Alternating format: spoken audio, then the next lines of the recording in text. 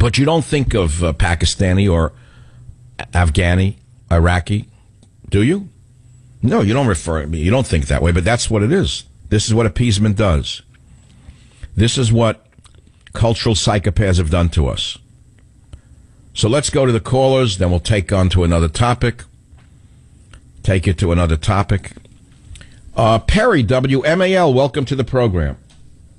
Yes, um, one thing I don't understand, that oftentimes we're on the same sheet of music, but I don't understand, maybe it's your limited knowledge of Islam. I've been practicing Islam for over 20 years. It's the best way of life. It changed me totally to a productive member of the human family. And if you know the actual verses, clear verses of the Quran, first of all, in the chapter, the 19th chapter, which is titled Mary, which is mother, of the mother of Jesus, it says in there that the angels were wrangling over who would have charge of Mary because they knew and she would. You know, I know all of that's in there, but there's also verses about slavery. You know that as well if you read the Quran. And yes, but it's not. See, if you fasten it without the context, then people go away with the wrong idea. wait a minute. What what context can they be about enslaving non-Muslims? Tell me the context I'm missing. One more point. One more point. Jesus is mentioned in 11 different places in the Quran as the Messiah. That's number two. Now, as far as slavery, it tells you in different instances, like who to take as a wife. He said it's better to take a believing slave than a non-believing, um, um, non-believing maiden. So things like that. Wait, so you're you're admitting that your holy book calls for slavery? You just admitted that. Call for slavery is just the context of that time. They were uh, actually slaves, but also you can find that in the Torah as well. Oh, okay, yes, right. And to be fair, I've said that. I've read the Bible, the uh, Old Testament. I said that. Uh, to be fair to the discussion, however, I don't see any Jews rampaging across the Middle East taking Christian slaves. Do you? No, and the ones that are doing it, the ones that are, well, they did it here in, in America a long time ago. That's another subject. But the um, the Muslims or so-called Muslims that are doing these horrendous things in the name of Islam, I don't call them Muslims. It's like I don't call them Christian. Christians. Good. Well, good. You know what? You actually encourage me every time you call. Because I think you're a just man who's a peaceful man. I mean, it's as simple as that. You always encourage me with your, I think your separation from the animals in ISIS. And, and let me ask you so, let me ask you something because I've I've had you call before. You are a member of the Farrakhan Church, right? Black Muslims. Yes, sir. Okay. Be honest with us because it, I know you swear on your holy book to be as honest as you can under all, all conditions. I want you to swear on the Quran that when you speak to fellow black Muslims, they don't sympathize with ISIS. Oh, no, sir. No, sir. Oh, no, sir. Not those actions. No, sir. We, as, we in the Nation of Islam don't even carry as much as a penknife, let alone automatic weapons on Toyotas and, and light bombs. So, well, you see that? So people don't know much about your own your own church. We know that Farrakhan is always uh, uh, spewing hatred for Jews and uh, America. We know that. Maybe his own own adherents know more about peace than he does. No, well, first of all, he doesn't. All right, let, us not let's not go down that road. But I do. I want to say I do appreciate your calls every time you call the show. Uh, are you able to accept a copy of my book called Government Zero? would you be offended by it? No, I wouldn't because I already have and um, the impending civil war. I've gotten into it a little bit, but I've just been so busy.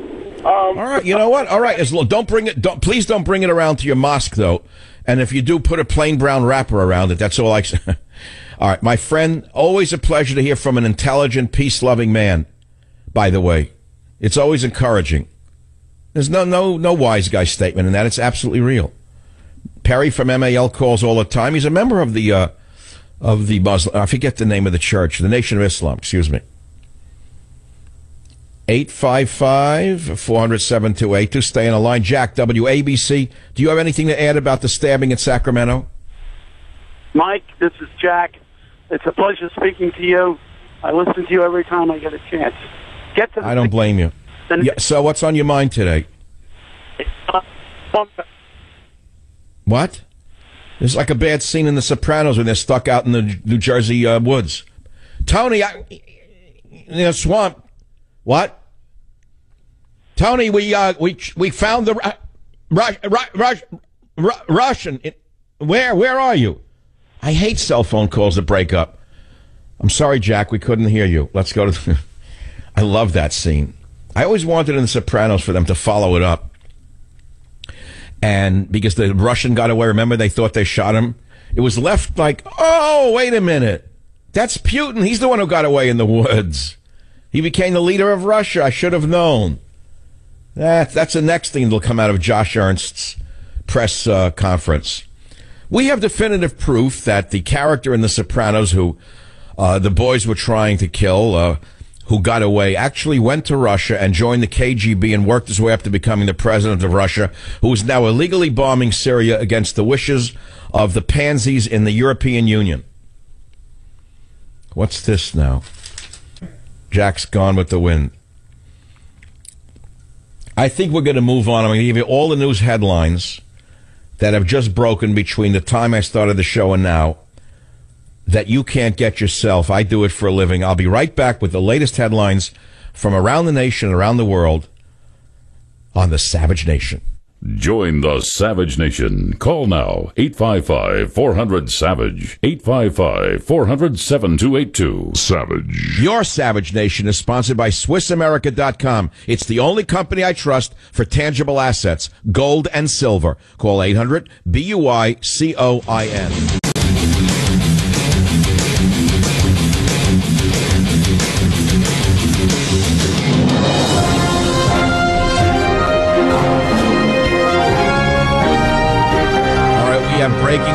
on the McCarthy story. Now, many of you don't know who he is. He's a congressman.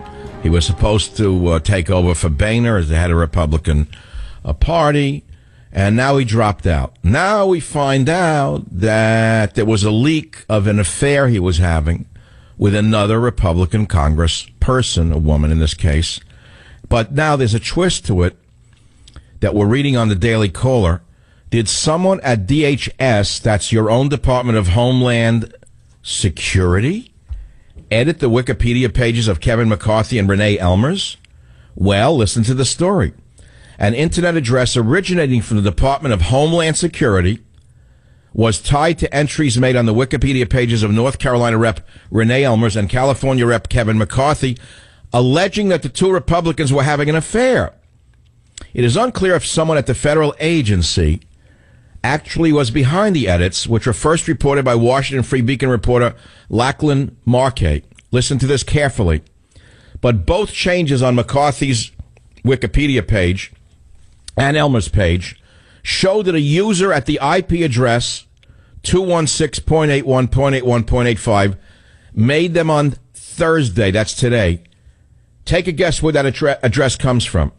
It comes from DHS offices in Springfield, Virginia. So somebody in DHS allegedly went onto his Wikipedia page and smeared him. How is that for a government at work? How is that for Department of Homeland Security? How is that? How do you feel now knowing that the DHS has become a division of the Obama smear machine? Or worse yet, it could be a, the Hillary machine. We don't know who did this. So it means now a couple of things. If this is true, it's obviously true. McCarthy accused of affair on Wikipedia. The edits, as I said, came from a Homeland Security address. Are we now living in a banana republic? Yes, we're living in a. It's so corrupt that the government itself will smear people who opposes its policies. That's something that you would have seen in Uruguay 30 years ago. Even Uruguay is cleaner than this country under Obama. Obama has so destroyed this country that his own Department of Homeland Security would smear a candidate for a speakership in an, in an opposition party. How can a progressive celebrate a thing like this? Answer because they're all like Rosie O'Donnell. They smoke pot and watch cartoons.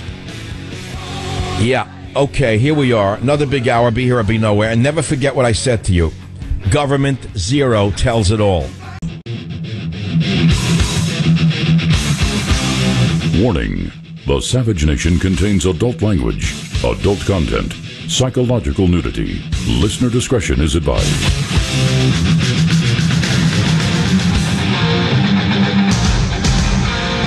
And now, America's most exciting radio talk show, The Savage Nation, home of unprotected talk. borders, language, culture. And here he is, Michael Savage.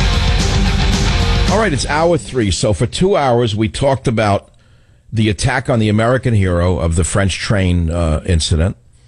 The police are absolute stiff lipped about it. They will not disclose any more than it was Asians, but we know Asians are used as a you know a statement in, in the EU and Britain, PC places, to describe an awful lot of people. And I, I find it absurd in this day and age that we can't know who did it, so we can help them find them. But nevertheless, we covered that. Then at the end of the hour, it came out that McCarthy dropped out of his candidacy to become the next Speaker of the House and replacing Boehner because somebody went onto his Wikipedia page and altered it and put in that he was having an affair with another Republican, in this case, a woman, thank God. And I say thank God, uh, given the world we live in. At least it was a grown woman. I mean, you got to say that almost for a Republican to have an affair with a grown woman. I'm not saying they should, but you know, I'm just saying. People are laughing already. No, I mean, I like saying just saying. It, it fills in a lot of blanks because then I can't be accused of saying what I just said by implying just saying. But for a white Republican male in the middle age to, ha- be caught having an affair with a woman, I, you know what I'm saying? I'm just saying. okay, but that's no joke. So they smeared him, and and the, guess the IP address of the smear job comes from the DHS. Bing, bingo. That's all. Came from DHS, the new fascist dictatorship. Like I'm shocked the DHS is turning on America. Oh, really? The same DHS that lets illegal alien gangbangers come into America looks the other way when Muslims coming in from Syria and doesn't vet them? Right. Okay. So as a result of that, during the break, I finished my salt and pepper shrimp, which was delivered to me from an Asian restaurant by a young man in a white t-shirt. I'm sorry. I finished the salt and pepper shrimp and I perused the Michael Savage page on Wikipedia.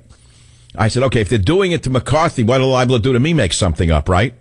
So I'm looking at it, and nothing was added yet. Better known by friend Michael Savage, American radio host, author, activist. I have a very long Wikipedia entry, but it's pages upon pages. Since October 2012, Savage has been syndicated by Cumulus. Blah, blah, blah. He holds master's degrees from the University of Hawaii, medical botany, medical anthropology, PhD, University of California. He has written books on nutrition, herbal medicine, homeopathy, blah, blah, blah. four political best-selling books. Blah, blah, blah. Savage has summarized his political philosophy in three words: borders, language, and culture. Savage characterized his views as nationalist, while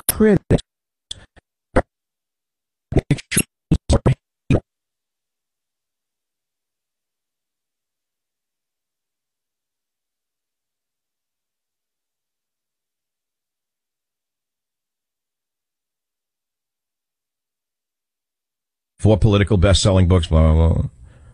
Savage has summarized his political philosophy in three words, borders, language, and culture. Savage has characterized his views as conservative nationalism, while critics have characterized them as fostering extremism or hatred.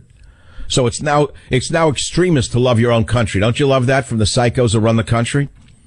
Savage opposes illegal immigration to the United States, supports the English only movement, and argues that liberalism and progressivism are degrading American culture.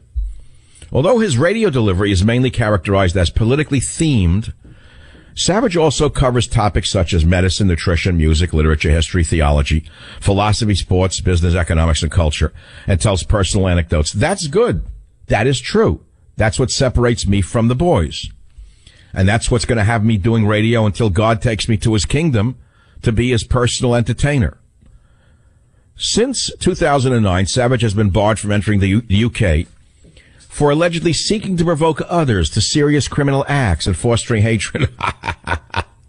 seeking to provoke others to serious criminal acts. That was the Labour Party, the corrupt pornographer there.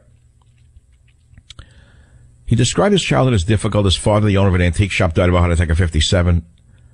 And his mother died in 2000.